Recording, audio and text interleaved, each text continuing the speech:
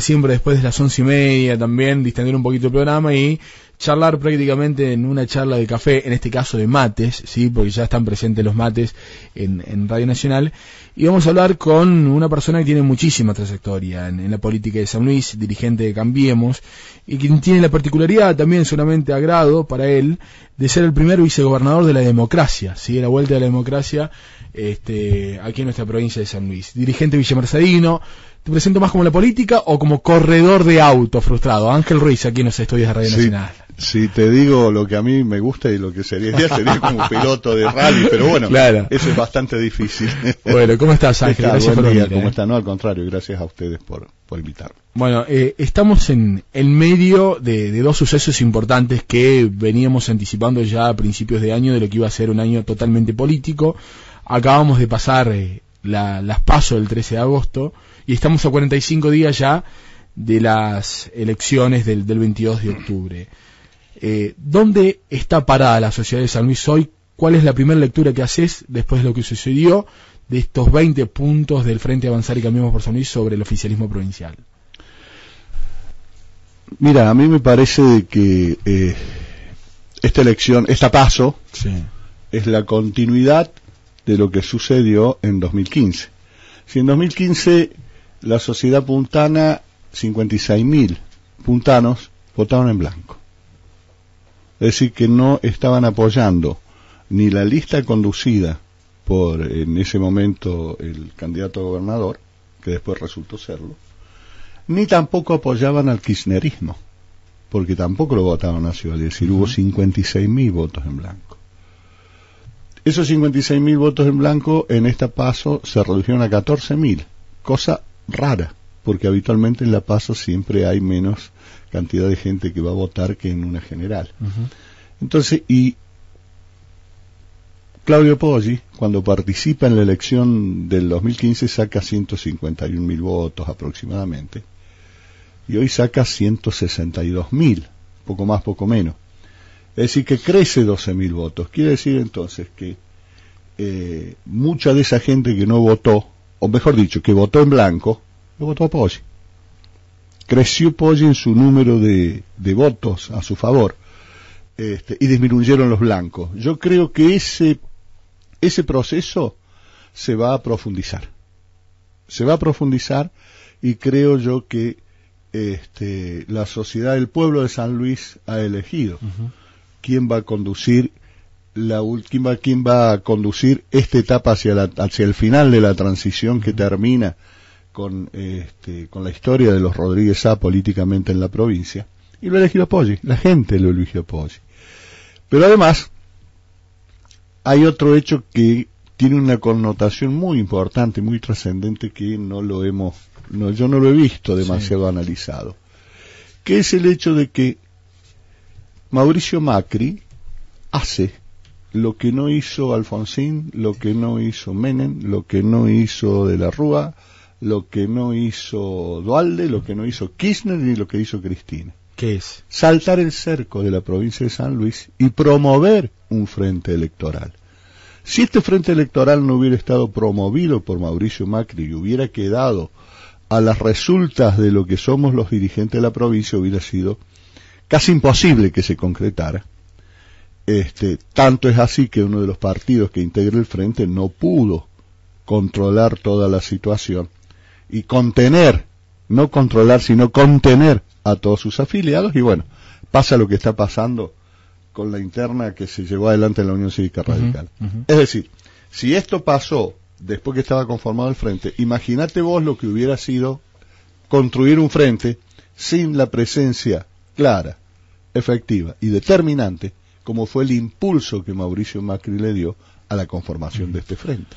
Eh, Ángel, recién decías, estamos en presencia de un fin de ciclo de, del poder de los hermanos Rodríguez A. ¿A qué se le atribuye eso? ¿A una evolución de la sociedad de San Luis? ¿Naturalmente a un fin de ciclo? ¿O también quedaron muy pegados con esta alianza que el kirchnerismo, que días después de las pasos intentaron sacarse el lado del kirchnerismo con esos panfletos repartiendo en el peaje diciendo no somos kirchneristas, somos peronistas? Ah, Yo creo que esto tiene, es decir, es un combo, es un combo, no es una- un solo factor. Lo primero, no existe ninguna sociedad republicana que tenga este, en el ejercicio de poder a una familia durante va a ser 35 años. No existe en el mundo, en ningún en ningún lugar donde eh, donde el sistema republicano de gobierno este, sea el adoptado se dan estas cosas, solamente en San Luis. Primer detalle. Segundo detalle, este, eh, se fueron alejando, se fueron alejando y se fueron alejando del peronismo que pregonan para transformarse en populistas. No tiene nada que ver un gobierno nacional y popular como el que planteaba el general Perón a un gobierno populista y monárquico como el que ejercen estos muchachos. Y acá hay generaciones enteras que no los que los conocen solamente a ellos.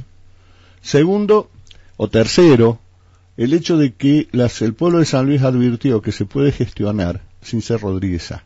Y esto lo advirtió y lo conoció en los cuatro años de gobierno de Claudio Poggi. Además, cuarto, siguen utilizando viejas recetas que en un momento le resultaron y en otros no. ¿Cuáles son esas viejas recetas? Y la vieja receta, por ejemplo, fue la de acercarse a Carlos Menem después que Carlos Menem había perdido su poder nacional. Esto lo hicieron. No fue tan fuerte, era otra época, había, no había pasado tanto tiempo, y ahora vuelven a hacer lo mismo, eh, que es este, instalarse dentro de lo que es el kirchnerismo. Por más que ahora salgan a decir que no son kirchneristas, pero la gente no se olvida de la Navidad con Milagros, Sala, este, el actual gobernador siempre es partícipe y, e impulsa y toma como referencia, a pesar que dice que es ateo este, o agnóstico, él toma como referencia las Navidades. Y le va mal cuando toma referencia a las Navidades. La Navidad sin Ponce no lo pudo concretar, ¿se acuerdan de esto? Sí, sí, sí, bueno, es un hecho que la sociedad de San Luis fue traumático porque él lo planteó traumáticamente profundizando la grieta en la sociedad y no lo pudo concretar. Y ahora eligió ir a pasar la Navidad con Milagros Salas. Entonces profundizó más la grieta, por todo lo que representa Milagros Salas. Después continuó con sus acercamientos con el kirchnerismo, por más que diga que no, pero se acercó a la tilinga, se sentó con la tilinga en su calificación, no en la calificación de los demás, sino en la de él, este, se pavoneó por cuánto canal de televisión había junto con Moreno y termina instruyendo a los diputados nacionales de San Luis para que favorezcan la impunidad de la corrupción. Porque este, votar en contra del desafuero de debido es profundizar, profundizar la impunidad contra la, contra la corrupción. Es decir, permitir que una persona que está seriamente sospechada de actos de, actos de corrupción se proteja contra una, unos fueros que están desnaturalizados, porque los fueros no son para eso.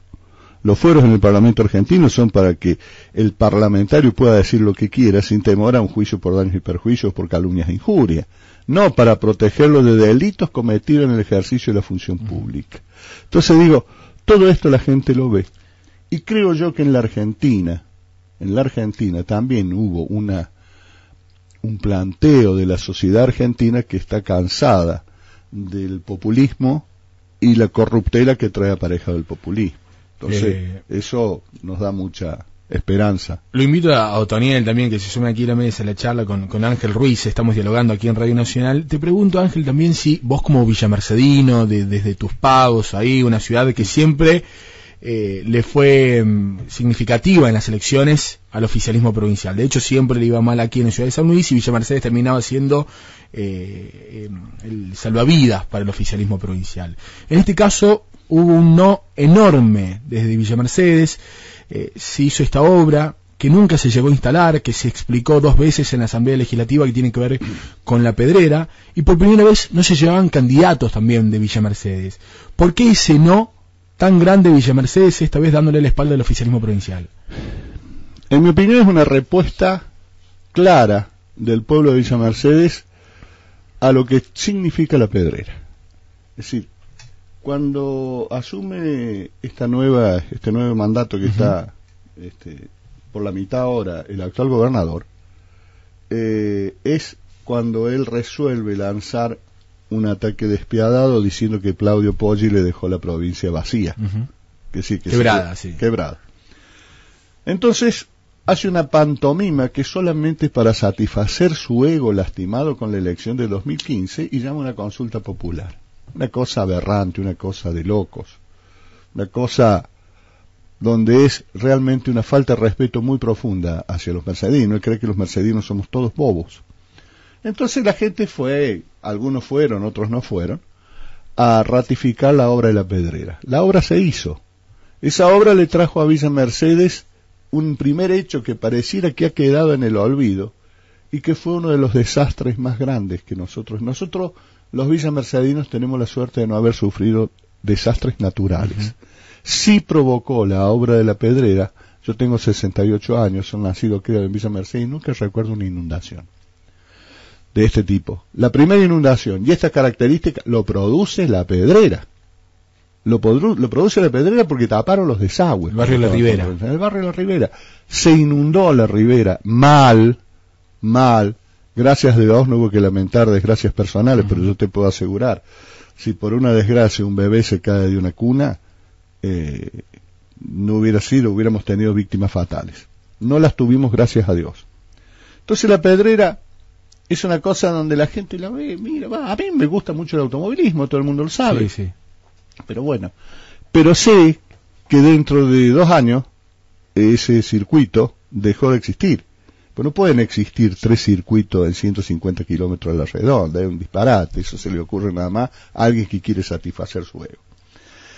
Ese castigo que hubo a los mercedinos fue este que quiso poner a los mercedinos, primera vez en la historia que no hay un solo mercedino en la lista de candidatos del oficialismo y castiga a dos personas que eh, por las que yo tengo respeto, a pesar de que estamos en veredas diferentes, tengo respeto. Uno es a la senadora Negre, con la cual el gobernador no le perdona su profunda y, y, profunda y sincera fe religiosa, y el otro es el intendente Merlo, a quien desprecia. Entonces, al haber un cambio en la conducción estratégica del oficialismo, transferirse del, actual senador a su hermano, porque es el que condujo todo el proceso, lo utilizó también para satisfacer sus este, expectativas, ambiciones, eh, ego herido, lo que le quieras decir. Entonces dijo yo estos mercedinos, porque nos considera de segunda. El actual gobernador a los mercedinos nos considera de segunda. Yo sé que ha comprado propiedades, que va a Mercedes, que tiene un séquito de amigos que son todos tipos que están llenos de odio y de rencor.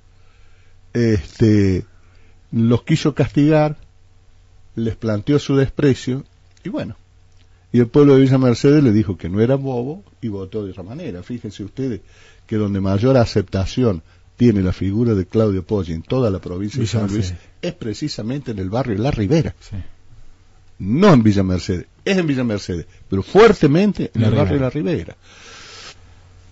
Entonces esto es, es, así. Yo creo que toda esta transición de la que estamos hablando, este, eh, el pueblo ya resolvió quién es el que la va a conducir. ¿Otto? Sí, sí, escuchando atentamente lo que decía Ángel, la verdad que, bueno, hoy a la mañana justamente hablamos de esto, de, de lo que ha sido eh, lo contradictorio que ha sido eh, esta, esta obra que realmente eh, fue una obra importantísima para, para lo estético. lo estético, pero totalmente innecesaria. Yo creo que si a Villa Mercedes le planteas la alternativa de hacer una inversión de dos mil millones de pesos, los villamercedinos tendrían mil ideas eh, mucho más efectivas y mucho más eh, productibles para la para el departamento que hacer un, tercer autódromo y un segundo estadio. ¿Ustedes hace mucho que no van a Villa Mercedes? Yo hace bastante. No, sí, yo estuve, yo estuve. Villa Mercedes ha cambiado su paisaje urbano. Villa Mercedes es una ciudad donde hoy han florecido los tachos de 200 litros que se ponen para señalar que hay algún problema en el tránsito, pintados rojos y blancos como si fuera la camiseta estudiante de La Plata, producto del colapsamiento que tiene todo el sistema de cloaca. El centro de la ciudad y los barrios adyacentes están colapsados, la cloaca está colapsada, se rompe, se revienta, este, llueve mucho y es un desastre, se obstruye. Entonces, la mitad de lo que se gastó en la obra de la pedrera se lo hubieran entregado, hubieran hecho una obra en conjunto con la Municipalidad de Villa Mercedes para solucionar el problema de las cloacas, que es gravísimo. Villa Mercedes es una ciudad que se hunde. Se está hundiendo. Hay lugares, hay lugares donde la napa florece el piso. Y esto es consecuencia de dos o tres cosas. Primero, es consecuencia del río nuevo. Segundo, es consecuencia de cómo han subido las napas en las proximidades del río Quinto. Entonces, si uno va a ver el edificio de tribunales, vos ves cómo se va hundiendo, cómo se va rajando, cómo se van desequilibrando las puertas, cómo las puertas se van cruzando. Un edificio cuando tiene cinco años, seis cinco años, años tiene. cinco o seis años tiene. Entonces digo, esto es lo que necesita Villa Mercedes. Villa Mercedes necesita resolver sus problemas de cloacas. Fíjate vos. Y hoy, cada vez que se rompe una cloaca y hay que arreglarla, eso corre por cuenta de los vecinos. A la vuelta de la calle, es decir, Villa Mercedes tiene una calle que se ha transformado en la calle de los bares Sí. y todo eso que es la calle Lavalle. A la vuelta de la calle Lavalle se rompió una cloaca. Entonces tuvieron que hacer una cuadra de cloaca, la pagaron, la pagó uno de los vecinos, pero los otros no querían, uno la pagó. Le costó 20 mil pesos.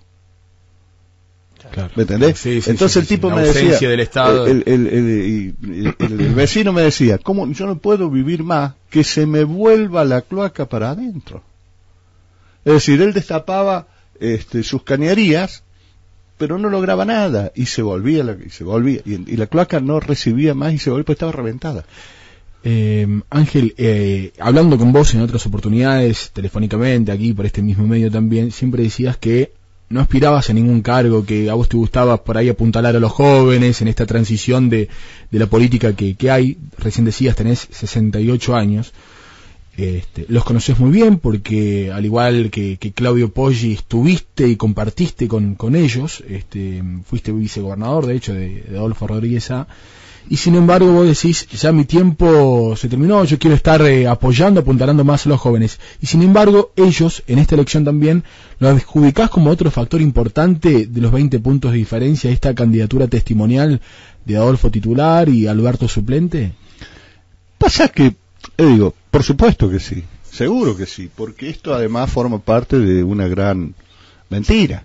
Es decir, ellos hicieron toda una campaña apostando a los jóvenes y resulta de que el candidato más importante tiene 70 años y el segundo candidato más importante, lo que tiene que ver con las listas nacionales, tiene 68. Y son los hermanos. Entonces, me voy yo y venís vos. Entonces digo, esto es- la gente se da cuenta. ¿Pero qué genera el poder para que, porque ya no, a veces pensamos y hablamos en el café con amigos, ya no pasa ni por una cuestión de dinero y demás, ¿qué genera el poder? Adicción. Es una adicción. Es una adicción como cualquier otra adicción. Si una persona que es adicta al, al tabaco, si no fuma no puede vivir.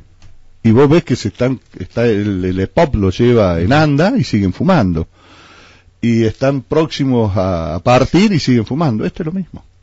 Es una adicción al poder. Porque ¿qué tiene el poder? El poder te da dinero. Los muchachos tienen mucho te da la posibilidad de acceder a novias famosas, aunque sean viejas y decrépitas, acceder a novias famosas te lo da el poder, porque si no tenés poder no accedes ahí. ¿Está bien? Te da el poder el hecho del halago que vos sentís como sincero y realmente es un halago interesado, el que te da la gente, el- algunas personas. Te rodeas de amanuenses que te dicen que está todo bien, que te festejan los chistes así sean horribles. Es decir, te da un montón de cosas el poder con la cual hay gente que no puede vivir. Y hay otros que hemos estado con el poder y hoy elegimos otro estado de nuestra vida, que es la tranquilidad. Es, este, es mentira eso de que aquello que estamos defendiendo los derechos de San Luis. Este gobierno nacional es el gobierno que más le ha dado a San Luis. Mirá, los Rodríguez A bregan por una universidad desde el primer día.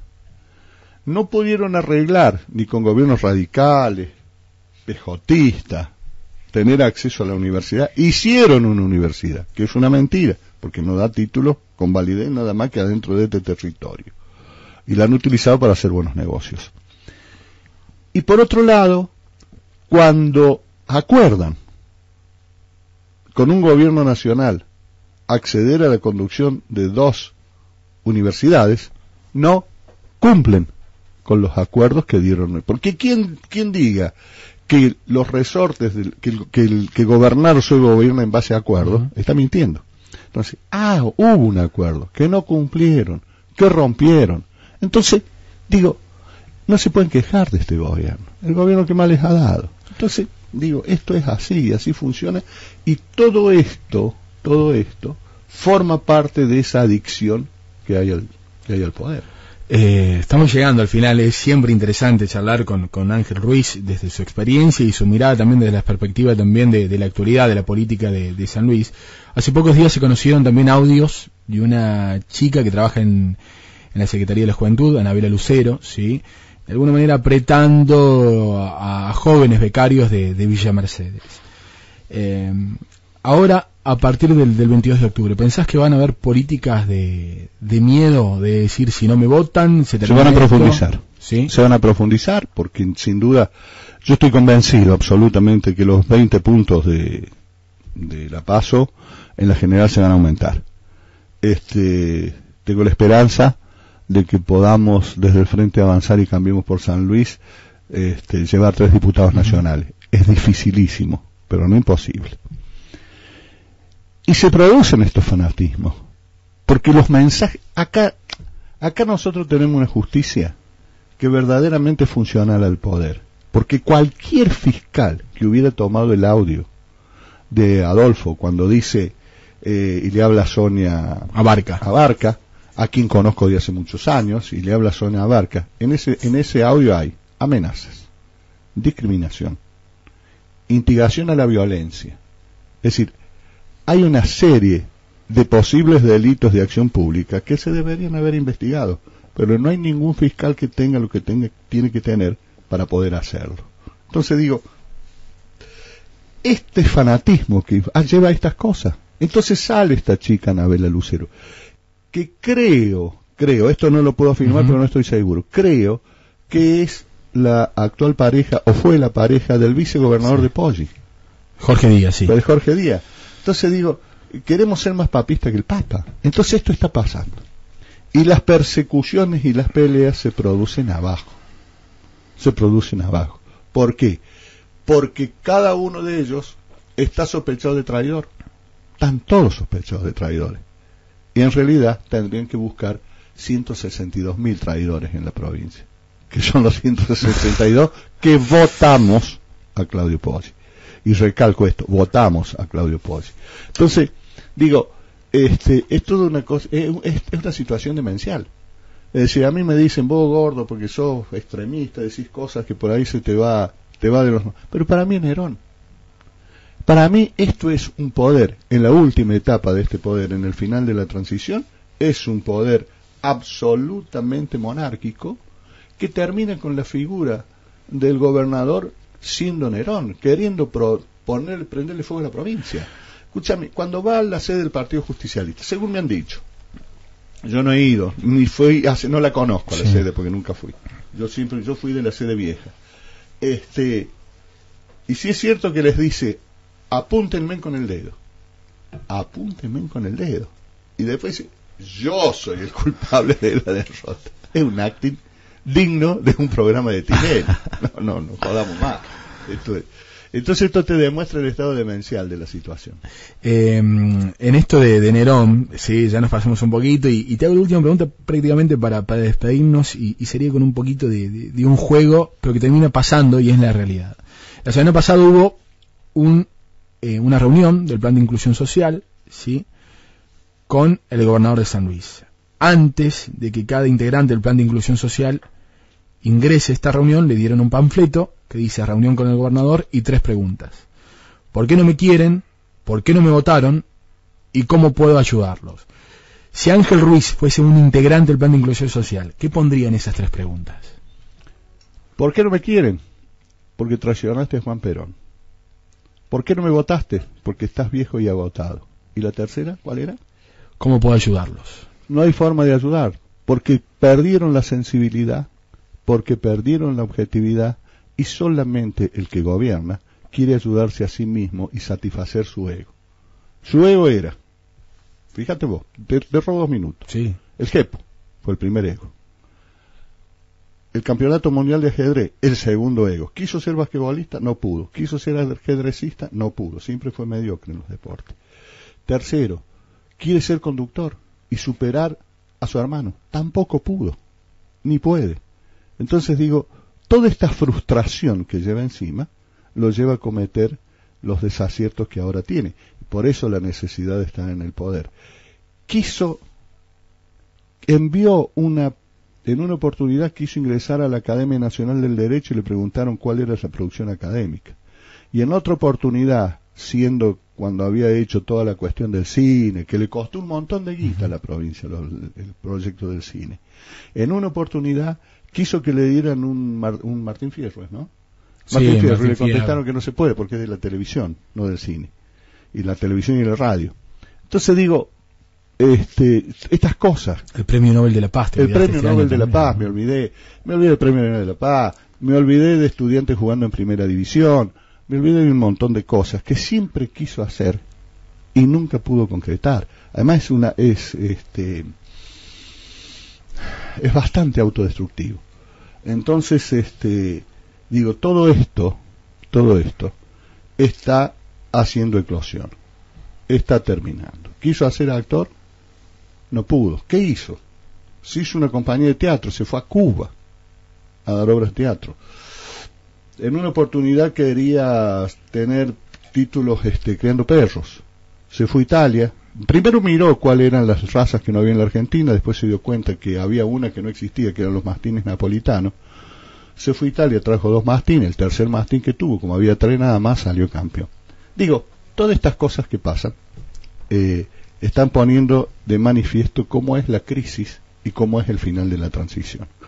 Y bueno, yo me puedo animar a decir todo esto a esta altura de la vida. Si alguien me allá me rayaron el auto, así que ahora me imagino que vendrá otra más. Pero bueno, no importa, cosas que pasan. Eh, Analía Trifiró la semana pasada la llamaron, ¿sí? A la Secretaría General de APTS le dijeron, eh, callate la boca porque tu hija va a aparecer muerta en una zanja.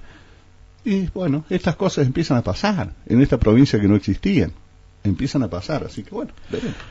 Eh, Ángel, siempre es un gusto charlar largo y tendido, tomando unos mates. Este, a mí me gusta porque hay una pregunta que deja cada título y para nosotros eso es alimento, pero me parece que es agradable también este, para, para escuchar también, ¿no? Este, un dirigente de, mucha experiencia. ¿Tenés hijos?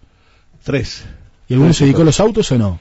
Sí, mi hijo Fernando eh, fue campeón, subcampeón argentino de rally, sí, sí, sí, fue el primer mercedino en ganar una, una carrera por un campeonato argentino. Después, este, eh, cuando eh, empezó a, a, ya a trascender en el orden nacional, la diabetes le jugó una mala pasada, le jodió la vista, así que estuvo mucho tiempo sin correr, después volvió y ahora ya no corre más.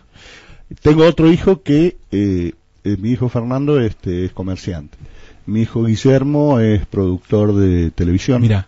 Tiene una productora de televisión y ese jugó muy bien al fútbol. Jugó en Huracán, jugó en Paraguay.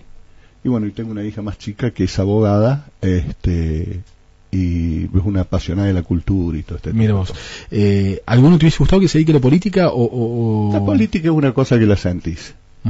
eh, la que está un poco más cerca de la política es mi hija. Los varones están lejos de la política. Este, todavía a su mamá y a mí nos, nos facturan haberlos de alguna manera abandonados un poco cuando eran chiquitos, porque nosotros empezamos este, en política, yo empecé en el año 67 a militar. Es decir, que muchas veces detrás de la militancia lo fuimos dejando con sus abuelos. Gracias a Dios teníamos los, los cuatro abuelos en pie que se hicieron cargo de la, de la creencia de los chicos, todavía la factura. Y como fanático del rally, ¿te hubiese gustado que el autódromo de la Pedrera se llame, ya que se hizo la Pedrera y que tal, que estaba el autódromo Federico Feco Smith, por ejemplo? Pues se llama Carlos Bassi, ¿no? Se llama Carlos Bassi, yo en eso no soy objetivo, no puedo ser objetivo, pues yo soy, yo fui muy amigo de Carlos Bassi y tengo un gran recuerdo de Carlos. Este, a mí me, el primer auto con el que corrí me lo prestó el Carlos. Mira vos. Por eso digo, no soy objetivo Claro, y no sí, sí, entiendo porque hay una cuestión Este, sentimental. Hay una cuestión afectiva. Ajá. Creo que un autódromo debe llevar el nombre de un piloto de pista. Este, por lo tanto, tanto yo creo que al FECO y al Carlos debería cada rally de San Luis debería llevar Tener un nombre. premio con ese nombre. Claro, ¿no? los, los rally, porque ellos fueron de los rally, hicieron el rally, trajeron el rally a esta provincia. Este, nosotros no teníamos pilotos de pista. Si dentro de 15 o 20 años o 30 años hay un auto, hay otro que hace un autódromo y bueno, qué sé yo. Y ahí estaría Pesini, está Han Abdala, está mi sobrino Merlo, Javier, sí, sí. está, qué sé yo, hay unos cuantos pilotos de pista ahora, que antes no había pilotos de pista, pero no teníamos autódromo. Ahora tenemos tres. Sé lo que estaría bueno, digo, a mí me parece, y, y- y te saco un poquito de la política también, como apasionante, Sí. como apasionado del automovilismo, es una paradoja, ¿no? Tener tres autódromos, como muy bien decías vos, eh, a 150 kilómetros en la redonda, y no tener un cartódromo, que en definitiva ahí está la escuela, ¿no? Por supuesto. Por supuesto, un cartódromo de asfalto Claro. sería fantástico. Ahí está la gestación de los pilotos. Ahí está ¿no? la gestación de los pilotos. Vos fijate cómo la geografía ayuda. Nosotros tenemos grandes pilotos de enduro. Sí. Es decir, Martín Duplessis, Sí, sí, genio. sí, sí, sí. El, el nene de Batista, Sí. ni hablar, palabras mayores. Pero no tenemos piloto de moto en pista.